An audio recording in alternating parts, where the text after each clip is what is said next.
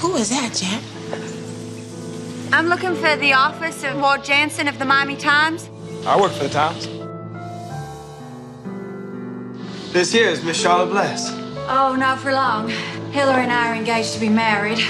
Everything you need to know about Hillary Van Wetter that's been in the papers is here in these boxes. Um, now, and our exciting correspondence is in the bottom box. I really just want to thank you for helping me get Hillary out of that hellhole. Well, I wouldn't go booking the honeymoon just yet. Oh, But we are gonna fight this sentence in the way it came about.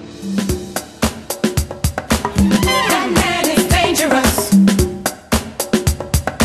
Loving him is dangerous. It's about the murder of Sheriff Call.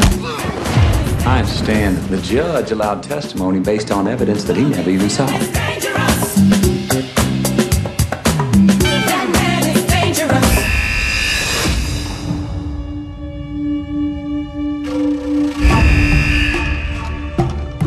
These your paper boys? Mm-hmm. What they gonna do for us?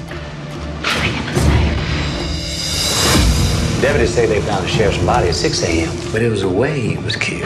That's what makes everybody assume it was you. I ain't the only one carrying a machete around here. What really happened? you look a little young to be a journalist. You can get your man out of jail, wouldn't you? You don't love him. You don't know that. Hillary ain't so bad, and I'm not so good. I've got another side. Tell him we got Hillary out. Governor's gonna pardon her. Yeah.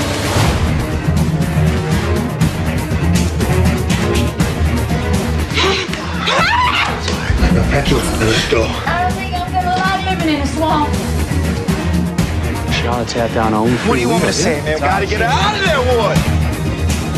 You put your hands on me again, I'll mess you up. Somebody will cut you to the last. I know what you came for. You got what you want. Jack, I really messed up this time. Stop fucking me, boy! Where is she? You son of a bitch! Come on! Where you going, paper boy? Ain't no way out of this.